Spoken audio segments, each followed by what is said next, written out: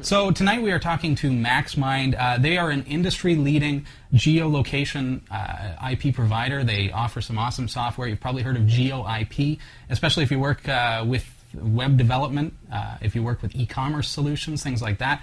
Uh, basically, an excellent way for uh, companies that do e-commerce to be able to prevent fraud, be able to uh, keep people from uh, performing fraudulent transactions and things from all over the world. So, uh, so we're joined tonight by Ed Lin, and Ed is the uh, he's MaxMind's business development manager. Ed, it's great to have you on the show. Thanks for joining us tonight. Hi, Robbie. Good to be here. So, if you could just tell us a little bit about uh, what what it is that you do uh, with with MaxMind, and and just in general, kind of what uh, what that entails, what GeoIP is, uh, th- that'd be very cool. Been with MaxMind for about four years, and I typically handle enterprise sales and business development uh, partnerships, uh, strategic relationships with other companies that want to leverage our technology inside their um, solutions. Right. So exactly like for those who don't know what geolocation is, if we could just kind of get into just off the bat uh, what geolocation represents, what IP, GeoIP, uh, what Sure. what that is, because I'm sure we're probably making a lot of people go, "What?" Yeah. So, so IP geolocation is is basically the ability to determine where your website visitors are coming from geographically.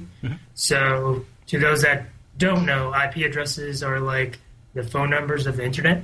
So, in order for two people to talk to each other, they need two phone numbers. Uh, on the internet, in order for two computers to talk to each other, they need two unique IP addresses. Right. Um, so our technology takes IP addresses and maps them to a geographical area. So how does that affect the the person's um, privacy? Uh, is there any kind of security issues with uh, with GeoIP? That kind of idea, as far as privacy goes, is that something that, that people would be concerned with?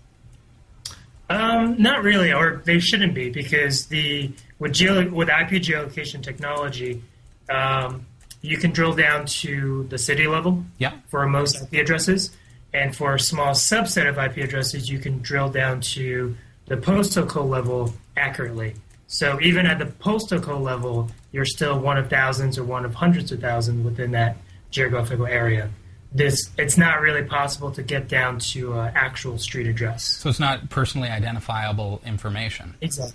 So it sounds to me like this. Obviously, you know, a couple of scenarios where geolocation would be appropriate would obviously be like I think about how uh, marketing used to be done through, and, and still is to some degree, but uh, more so now on the internet than before. It used to be done through the mail, and you mentioned postal codes and things, and companies would target market their products based on postal code because they, they know that okay, well this this area of the city is is local to one of our retail outlets, for example. So they would send out mm-hmm. mass mailing to that specific region because they know that that's going to give them the most the most bang for the buck, basically, for their advertising dollars. So Exactly. is is GeoIP kind of like a, an electronic version of that kind of information?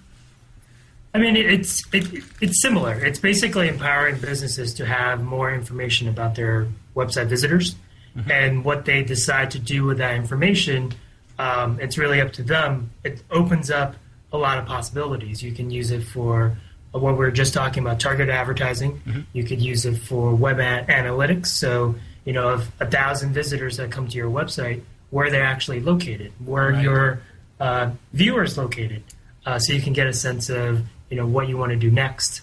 Um, you could do server load balancing.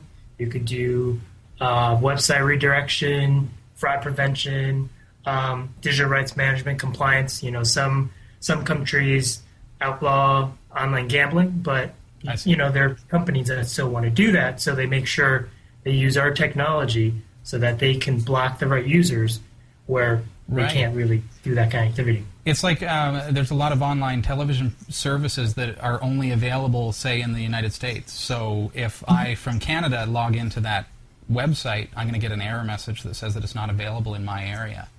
So most Yeah. likely, a very similar scenario.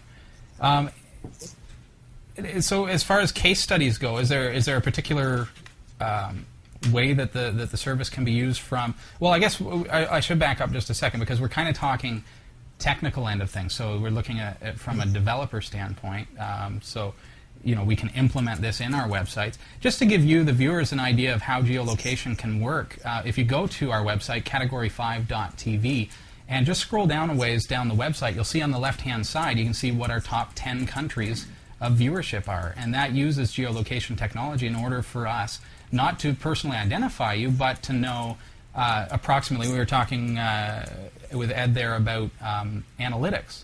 And it, it makes me think about how way back in the day, early uh, internet, we used to count hits on websites, and that was really all that we could do. Where these days we can actually track with GeoIP technology information like where the users are from, not personally identifiable, uh, identifiable again, but very helpful when it comes to, you know, like in our instance, knowing where our viewers are from. It's very important to us because that then allows us to approach sponsors and things like that um, so that we can target market their products as well.